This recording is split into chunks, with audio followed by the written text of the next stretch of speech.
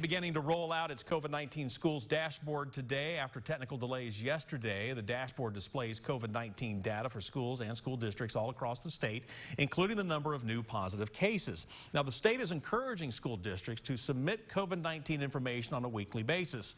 More than half of Tennessee school districts have submitted data for the week, and the Department of Education says all districts should be reporting data by September 22nd. And we do have a link to the new state COVID-19 schools dashboard for you. It's on our website at WATE.com. You can also find it by opening up our free news app.